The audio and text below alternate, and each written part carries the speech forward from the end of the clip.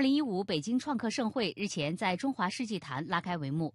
一百五十多个来自中国、美国、韩国、日本等地的创客团体及个人，在京掀起了创意狂欢热潮。更重要的一个，现在有这个技术的平台和这种制作的平台，帮助有想法的人那个去实现一个梦想，去变成一个产品。那我觉得，呃，来了这个现场的那每一个人都会觉得，哦，原来我也可以成为一个创客。本次创客盛会分为创客市集、工作坊、创客论坛、展演舞台四大板块。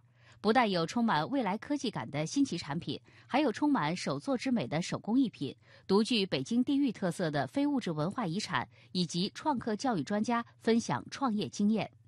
北京台报道。